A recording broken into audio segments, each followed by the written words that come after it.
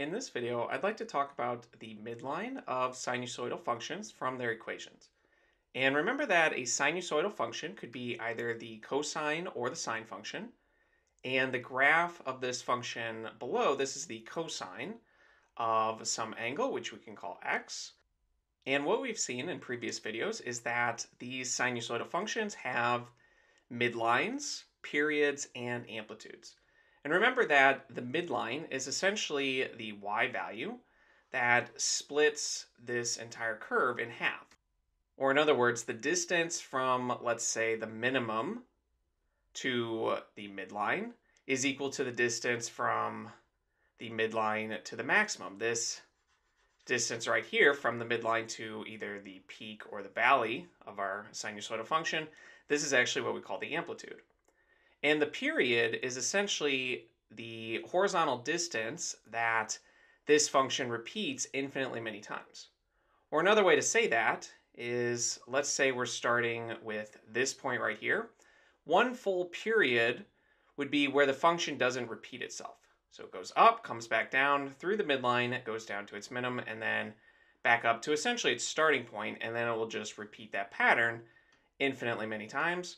Or you could think of the period is essentially the distance between two consecutive minimum points or two consecutive maximum points. The other one would probably be right about there. But for this video, we want to focus on the midline of these sinusoidal functions and how to interpret it from its equation. So let's say we have some general function and think about what it means to shift that function either up or down.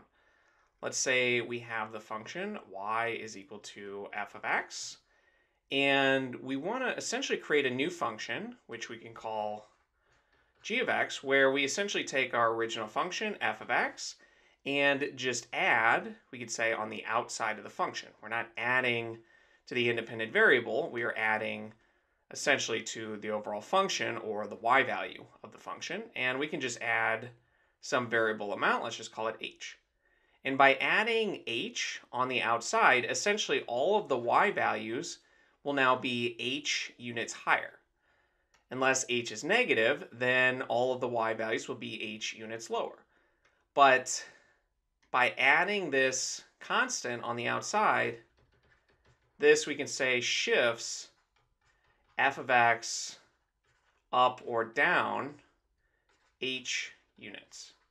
So if we have some function, let's say it looks something like this, and we can call this our f of x, and we want to consider what is g of x, which is f of x plus 2, let's say. So this will take all of our y values and shift them up two units no matter where they are. This will be a little bit difficult to draw, but essentially just imagine the entire curve being shifted up two units. This would actually look a little bit different, but you get the main idea. Every y value on this function f of x, when relating it to this function g of x, all the y values will now be two units higher. And likewise, if we subtract 5 or any constant, that will shift the entire function f of x, this yellow curve, down 5 units or whatever that subtraction was. So with our sinusoidal function, you can imagine right now that we have this function, cosine of x, and you can imagine that we are essentially adding nothing to that. Which is why the parent function for the cosine or the sine function has a midline value of just y equals 0. This is our midline, the equation of our midline. And if we were to add or subtract to the function we add or subtract on the outside, this will shift this midline up or down. So let's say we're looking at y is equal to the cosine of x minus 2. That will essentially take each of these different y values on our original parent function and now shift it all down two units, since every y value will be two units less than what it originally was. Maybe right there, this point will go down here, this point will go down to roughly right about there, this point right here will be right about here. And if we roughly sketch this in, we can see that the entire function gets shifted down two units, though that's not the best drawing. And to really understand this, it helps to use a graphing calculator and look at many different possibilities and just see what happens to our curve. So let's look at examples using the graphing calculator Desmos, since that's a free application. And what you can see is that we have this cosine of x graph, the parent function for the cosine function. But if we want, we can also look at the sine function since it will work the same way. And to shift this midline, this horizontal line, y is equal to zero, we just need to add or subtract on the outside of the function. You can see if I add one, it shifts everything up one unit.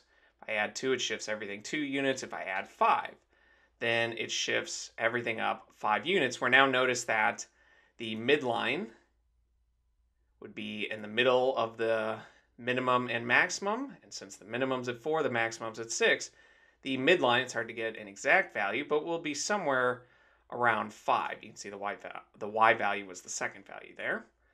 And if we wanted to shift it down, of course, we would just use subtraction. You see subtracting by 4 shifts everything down 4 units. Or in other words, it shifts our midline down 4 units. And this will give you a rough idea since this is not an exact coordinate point. Now, like I mentioned though, we can also look at the sine function since it works pretty much the exact same way. Remember that the sine and the cosine are just shifted horizontally from each other, where this is a vertical shift. So if we subtract 3 from the sine function, it shifts it down 3. If we add 4 to the sine function, it shifts everything up 4 units. And in the next video, we will look at specific examples where we're given the equation of our sinusoidal function, and we need to determine the midline value, though it's essentially going to be whatever we are adding or subtracting to the outside of the function.